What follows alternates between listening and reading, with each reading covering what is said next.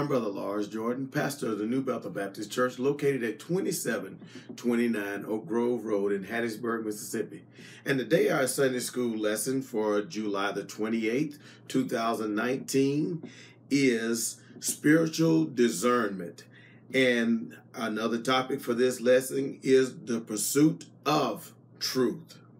And our Bible scriptures today are taken from the Gospel according to St. Matthew, the seventh chapter, verses 1 through 6, and also verses 6, 15 through verse 23. And the background scriptures are the same. And we're still in this area of covenant in God, this this quarterly theme. And then we have our unit of study that we're in right now, a heartfelt covenant. A covenant we found out to be an agreement between two or more and it is uh, something that you have made a promise on, and this is agreement that we're going to keep. And when we make it a, a covenant with God, we find that He is the one that is most faithful in covenant keeping and keeping the covenant or His promises, His side of things. And while we we're in this right here, we're in the last part of the the Sermon on the Mount. we started out in the fifth chapter there with the Beatitudes that and and Jesus goes up on into the mount and sits down and his disciples come to him as he departed from the multitude. I'm sure the multitude followed also, but his disciples came and he began to teach them saying and he started with the Beatitudes, the attitude that a person should have when they are a believer. And uh, the person, uh, uh, something that they should strive toward as a believer. Then he goes on deeper and deeper into this Sermon on the Mount. He goes into a lot of different different things that that that we should apply to our lives, but we we find that all of it it will take the law that we knew of that Jesus came to fulfill to another degree. And we'll even find in that that it's even harder than it was when it was just the law itself. But Jesus made the statement that unless your righteousness or in my righteousness exceed the righteousness of the scribes and the Pharisees, we will in no wise enter into the kingdom of heaven. So that put us in quite a predicament if we understood how the people of that time felt uh, what they felt about the scribes and the Pharisees.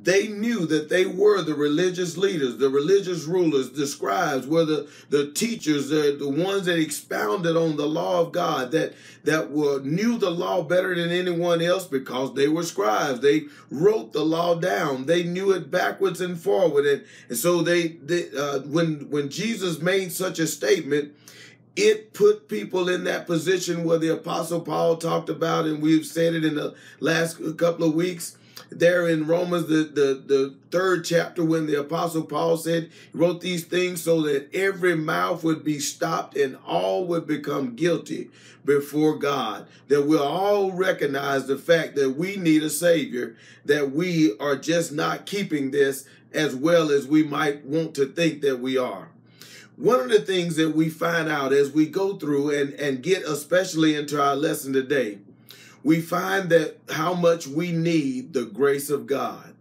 Grace, that unmerited, unearned, undeserved favor of God. We we can't earn it.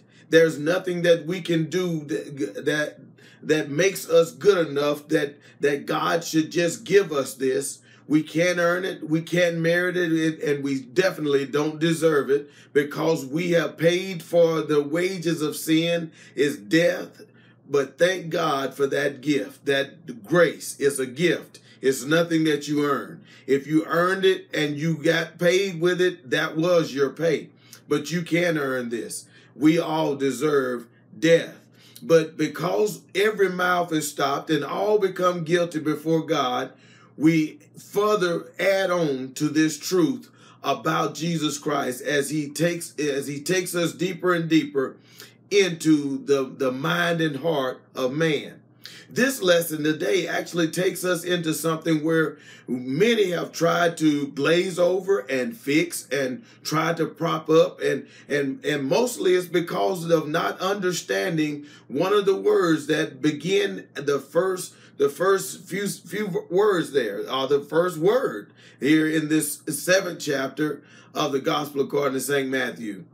Judge, that word judge. So we begin this lesson and and this is a part of the Sermon on the Mount again. We we uh, we didn't go into the sixth chapter, but now we are moving in to this seventh chapter. It says, "Judge not, that ye be not judged." Right there, right at the beginning, the Lord makes this statement. Now he would go on to explain what he's talking about when he makes this statement because what we're going to find out and what our writers want us to understand in, in this lesson today is that we do have to have spiritual discernment. Or either that uh, that other topic we said the pursuit of truth. Well the only way to have both of those the discernment is to uh, examine fruit not be judges, but fruit inspectors to examine fruit. So in order to, to see when something is wrong, we have to actually listen to it and, and discern that and know that it is untrue because we have studied the word of God, because we've been exposed to the things of God, we know that that, that right there needs to be deleted from my mindset. But this first word tells us to judge not, that ye be not judged. Now, the word judge there, that let's let's understand that word. That word in the Greek is krino. To, to judge means that you become the very person that makes all of the ruling on this. It means to try a person. You're actually putting them on trial in your own mind when you begin to judge them. When you look at them, you don't understand why they're doing the things they do, they're doing. You don't understand what they have gone through to get to this point in their life where they have made this decision. You don't know what drove them to this point but you have decided within your own mind to put them on trial in your own mind. And, and, and also the next thing, the, the big part of the word krino means to condemn. You have decided to condemn them. And with your condemnation of them, with your taking them down, you decided what punishment should happen to them. And the very punishment you want to happen them to them came in the word condemn. You want them to be cast out. You want uh, an, an avenging to happen upon them. You have drawn a conclusion. That's all. These are all the the the, the things that that that krino means. You have you have damned them. You have made and caused a decree to happen in your mind. You have decreed something upon them. You have made your own determination about them, and you have judged them and sentenced them already. The word krino means to judge them to, to condemnation. You have taken this person down and cast them out, condemned them, something you don't even have a right to do. But Paul said, judge not. Then there was a comma. And then, I mean, Jesus said, rather, I'm, I'm, sorry, Jesus said, judge not. He said that ye be not judged, that you won't be judged, so that you won't be judged. So if, if, if you're judging them, and, and you might be judged also. So you don't judge them because everyone, when they look at their own situation, they're always going to see it different than someone else's we feel like we deserve the grace of God on our situation, but do we actually have grace for everyone else? Do we ever show mercy toward anyone else? We, we always want the good for ourselves, but do we ever give the good? Do we ever show the good, good things? But we do have to make determinations sometimes. We do have to discern. So this is not saying that you don't inspect the fruit, and we'll get deeper into that in just a second. But it it, it is a thing of where we have to have we have to judge to identify and for restoration for identification and for restoration. That is why we see things, not to condemn them, not to destroy them, not to cause a sentence to come upon them, not to make our own conclusion about them. So verse 2 says, as Jesus is still talking, he says, For with what judgment ye judge, ye shall be judged. And with what measure ye meet, it shall be measured to you again. Okay, you have made this decision about that person. You have condemned them. You have, have, have, have pronounced condemnation on them. You have made your own decree about them. Jesus said, back up. Let's look at this again. He says, For with what judgment you judge, you use this right here. And I like to use it because I was in the construction world or still kind of in it. I use a tape measure quite often. So what he's saying here in essence is whatever you use to measure them by, whatever the tape measure you use to or yardstick to, to measure them by, be careful because they may use the same thing to measure you. He said, For what judgment ye judge, ye shall be judged. If you judge them to condemnation, by using these methods and these tactics, the same things that you use to judge them with. Because nobody deserves the grace of God. There are things in your life that are wrong just like there are in other people's lives. And, and those things, if you don't forgive them, if you can't get past that and find grace for that person, find mercy for that person, you and you judge them in this type of way to condemn them and make your own ruling about them, then these same things can come back on you. They can come back to you.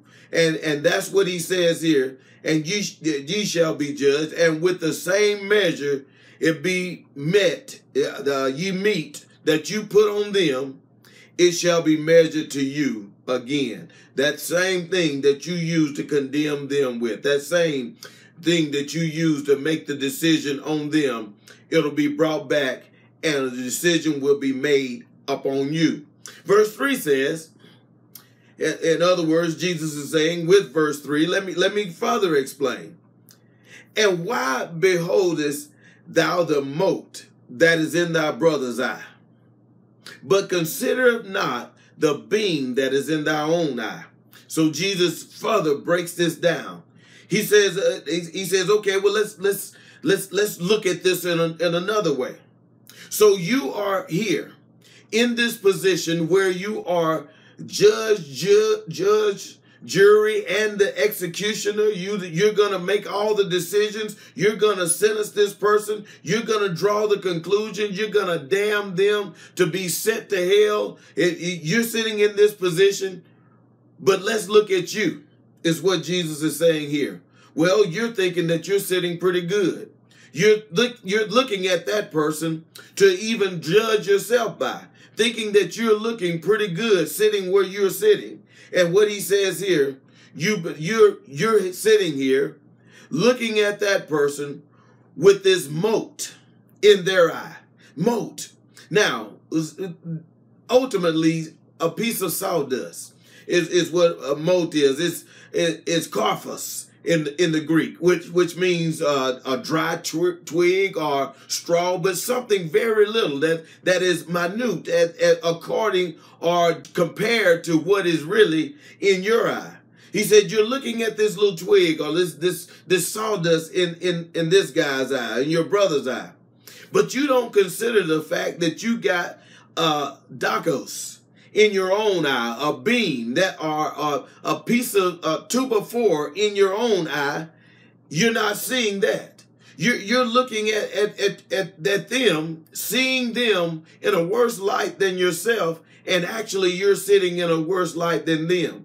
And, and Jesus is speaking very much to the heart of things. When we start to condemn people, start to look down on them, when we start to judge them in, in this type of way, to, to be the judge, jury, and executioner, when we start want, wanting to put ourselves in that position right there, he's actually telling us that you have the bigger problem than that person right there that you saw as having a problem. You have a bigger problem if you're judging them to condemn them. If you can't can't look at them and love them and without judging them to condemn them and not looking at them seeing if you can help them in some some type of way, eh, eh, then you're you're not trying to re restore them, then you have a beam in your eye. You have a log in your eye.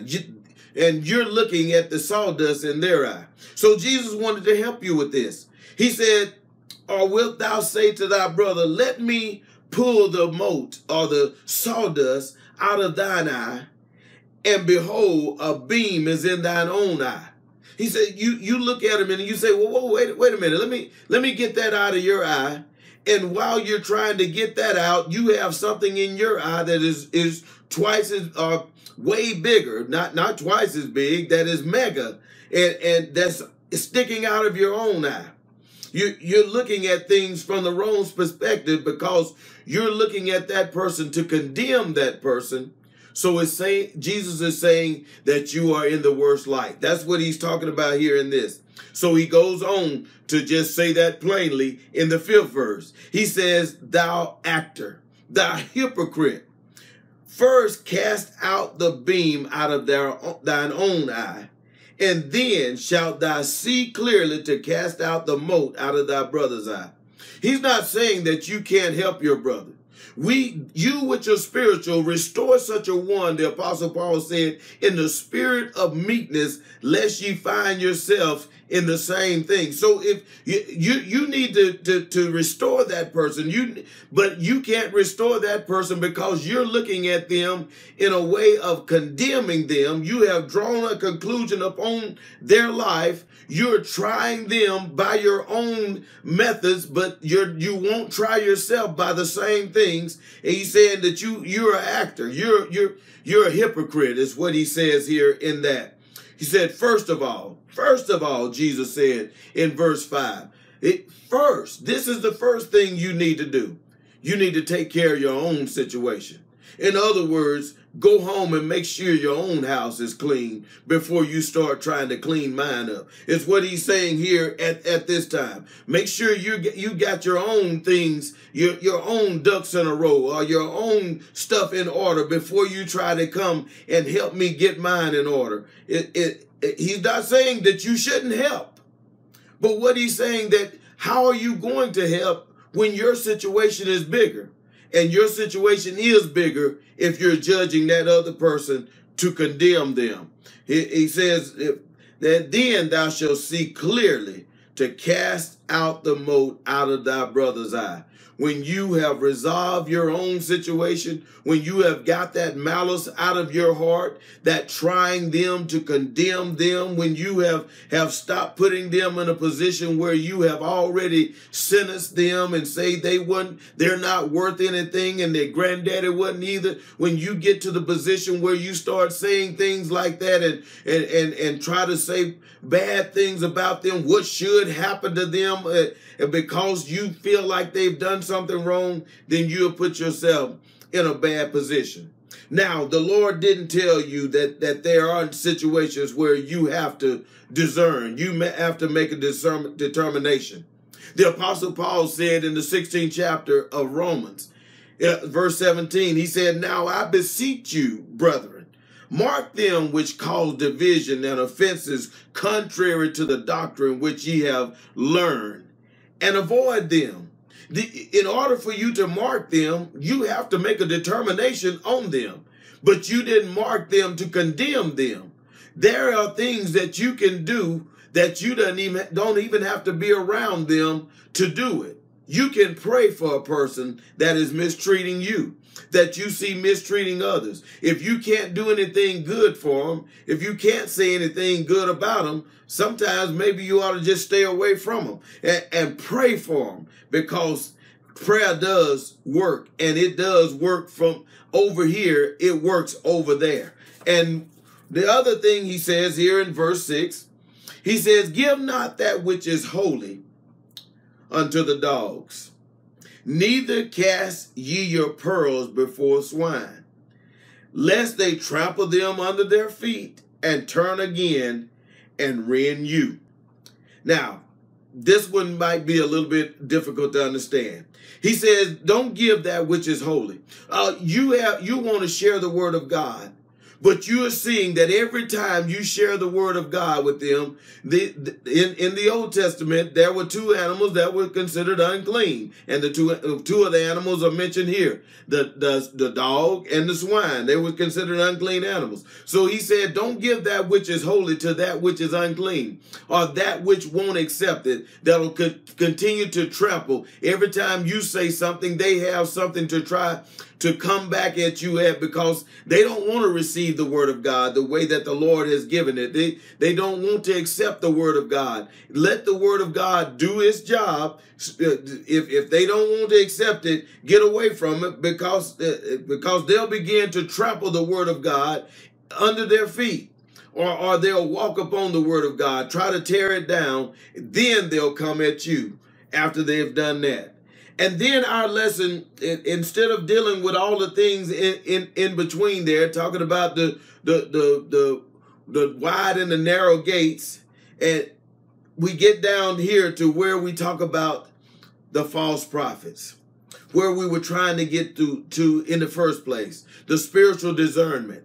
That because even though we we're not we're told not to judge, to condemn, krino, we are told to inspect the fruit. So he says here, the verse 15, he says, beware of false prophet. Beware. If you went to someone's house and they had a sign on the gate, say, beware of dog, well, it would give you pause before you went inside of that gate. Because inside of that gate, chances are they have something that will that can rip you apart. And that's exactly what the Lord is talking about here as he says, beware of false prophets because they can rip you apart. As a matter of fact, he'll go on to say that. He says here, which come to you in sheep clothing, but inwardly they are raving wolves. Wolves. Now they come to you in sheep clothing. They look good to you. They're, they're, they they have a smooth tongue but inwardly they are raving wolves. In other words, they're about to tear you apart. They're about to rip you apart. They have a set and uh, agenda. They're they're going. They're trying to do something to you.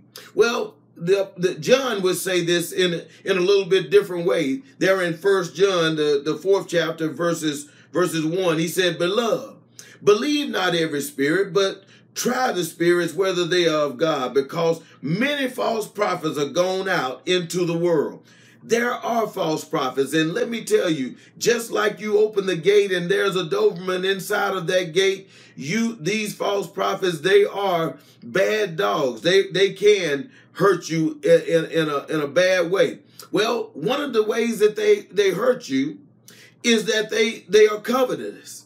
And and this is one of the big things of, of our day, our day and time. But Peter told us that these times were going to happen along with the apostle Paul in the 20th chapter of the Acts of the Apostle. He said, but Peter says here in Second Peter, the second chapter, verse 3, and through covetousness shall they make vain words make merchandise of you, with vain words make merchandise of you, whose judgment now of a long time lingered not, and their damnation slumbereth not. They they they use these words and they make merchandise of you. They start to to build up their own personality, build themselves up. And and and uh, Apostle Paul said that that they'll begin to preach about themselves or build up and lift up themselves, all in order to make themselves rich or make themselves look better than anyone else. So these are the, the acts of the of the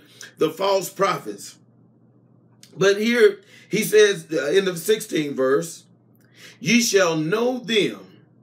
Here's the way you know them. We just told you about them. We just read what John said about them, that you're to try the spirits by the, by the, by, and, and know that, see if they are of God.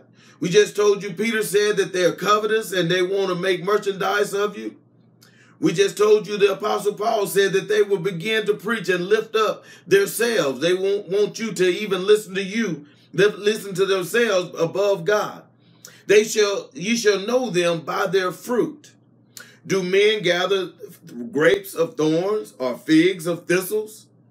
Uh, uh, uh, do they? Shall you? You'll know them. How? You'll inspect the fruit. You look at the fruit and they'll be tested by the doctrine of Scripture. When they begin to speak the word of God or what they say are telling you is the word of God, you should be able to check it by the word of God. The word of God is not changing because people don't like it. God said he, he let us know that in the word of God that he does not change. He doesn't change. We have to change. There, something has to change in us. Matter of fact, the word re repent means to change your mind. We have to change our mind about who we think Jesus is in order for us to accept Jesus Christ as our Lord and Savior. But God is not changing just because we don't we don't like something He said in this area, and somebody go out there and tell you He's doing something new now. He's not doing that anymore. And yes, He is. He's still God and he's doing the same thing. Jeremiah said, search for the old paths. The reason he said search for the old paths is because if it was good for Paul and Silas, it's good enough for me. So he's telling us here that men don't gather grapes from the thorns. That's that's not where you're going to find the, the grapes. You're not going to find the, the figs in, in the thistles are also thorns. It's uh, uh, kind of in the same terminology there. But verse 17 says, even so, every good tree bringeth forth good fruit. If it's a good tree, the fruit that come off that tree is going to be good. Is, is Jesus is putting this all together, trying to help us to understand something. But a corrupt tree bringeth forth evil fruit. If that tree is corrupt, the fruit that is going to come off of it is going to be evil, even though the words might sound real good might might even tickle your fancy, might tell you that you got a check coming in the mail tomorrow and you begin to shout and pass out and but let me tell you something about the passing out. I saw people passing out at a Michael Jackson concert, and I ain't got nothing against Mike, but but Mike wasn't speaking spiritual things that day, and so so be be be careful when you start getting into those mindsets and, and things like that. So here here he says that that corrupt tree it, it, it's going to bring forth evil fruit. And verse 18 says, a good tree cannot bring forth, uh, a good tree cannot bring forth evil fruit. The good tree can't do that. That's not what it is, is designed to do. Neither can a corrupt tree bring it forth good fruit. That, and he's just saying the same things they're just kind of breaking it down, bringing it back to us, saying the same thing over and over again. The good tree is going to bring forth good fruit if that tree is a tree, if that person is a person that really loves people, that, that is really a disciple of Jesus Christ, he said, You'll know my disciples by the love that they have for one another. They may be mean on one end and and and, and can't stand you on the other, but see you hungry and go buy you a bag of grocery, still mean and mad, but still love because they are good on the inside. The Lord has changed them and they are one of his disciples, and love love is going to flow from them even when they're mean. That's the way that, that, that a believer is. But a corrupt person, they'll want to condemn you. They'll want to tear you down. There won't be any love. They'll always have hateful words for you uh, about anything. And that, that is Jesus just bringing all of it home. Then verse 19 says, every tree that bringeth not forth good fruit is hewn down and cast into the fire. This is the ultimate ultimate, ultimate decision that the Lord makes about that which is is corrupt, that corrupt tree, that that tree that doesn't bring forth any good fruit or bring forth good fruit. It's cut down. It is it's why does it come off the ground? Why is it sitting there if it's not going to help out in any type of way? Wherefore, by their fruit shall you know them. He's saying that again, that, that same thing that, that he said in the verse 16. He says, you'll know them by their fruit. You don't have to judge them to condemn them. The Lord does the ultimate judging. You can pray for them. You'll know them though by their fruit you'll have spiritual discernment. There'll be things that you will under, understand about them. You'll hear their message and you'll know. And the apostle Paul said in Galatians 1 and 8, he says, though we are an angel from heaven, preach any other gospel unto you than that which ye have, which we have preached unto you, let him be accursed even if we, uh, the, Apostle Paul, he's talking about himself. If I come to you and start trying to preach something other than Jesus Christ and him crucified, then I need to be accursed, is what he was saying there. So, so we'll know them by their fruit, by the message that they have flowing from their lips. They'll be tested by the doctrine of Scripture, the Word of God. Jesus is the living Word. They'll, you'll be tested by Jesus himself. Verse 21 says, Not everyone that says unto me, Lord, Lord, shall enter into the kingdom of heaven, but he that doeth the will of my Father, which is in heaven.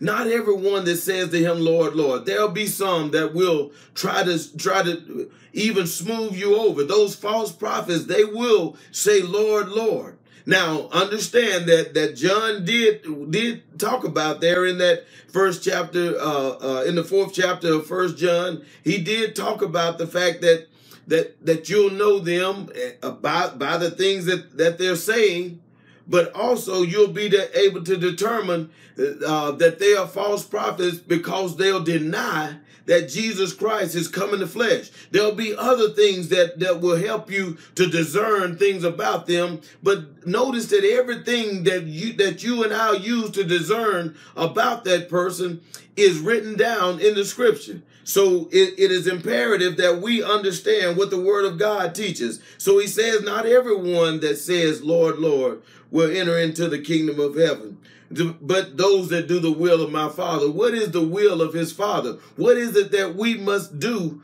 It, it, it's if Jesus Christ has done all the work, what is it?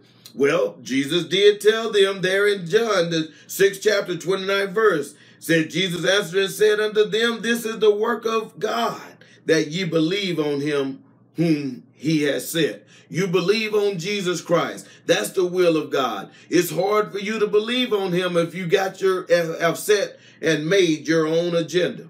Verse 22 says, Many shall say to me in that day, Lord, Lord, we have we not prophesied in thy name? It, it, and in thy name cast out devils, and in thy name done many wonderful works. Maybe you have, but maybe you Maybe you haven't. Maybe this is just a lie. Or, or maybe you're doing this by the power. The devil is, is, is doing this so that he can continues to be the type person he is, a deceiver. Remember, some of Pharaoh's uh, prophets were able to do some of the same things that, that, uh, that Moses was doing the, the same miracles that Moses was doing. So that the demonic spirits can do some things. Maybe you did do them, but it wasn't the power of the Lord himself. It was always the thing of, the, of the devil that was trying to work his own agenda at that time. And then verse 23 says, And then will I profess unto them, I never knew you. Depart from me, ye that work iniquity in the Old Testament, Deuteronomy chapter 13, if a person was a prophet, was a prophet, and he prophesied something it didn't come to pass, then he was to be put to death. But Jesus is saying here that this, this person will have to depart from him because they work iniquity. What is the iniquity that they're working? They never accepted him as Lord and Savior so that they could be cleansed from the inside out so that they could be converted. So in our pursuit of the truth, let's have a mind that is discerning. Let's have a spiritual discernment as we draw closer to Jesus Christ, as we learn more and more about the Word of God, But let's not be people that condemn another person, to place a person in our own judgment, to sentence them under our own minds and, and, and hearts. Father God, we do thank you today for the study of your word. And Father, we pray that this word will simmer on our hearts and minds all the day long. Help us to be people, Lord, that are not judging people to condemn them, but always looking at them to try to restore them in some type of way, Lord, when we see them out of order or out of line. Lord, help us to be fruit inspectors and minds of, of discernment. Father, we do pray that you will search our hearts, forgive us of sin. In the name of Jesus, we pray. Amen. Thank you for joining the Sunday School Lesson Review. Hope to see you next week. God bless you all.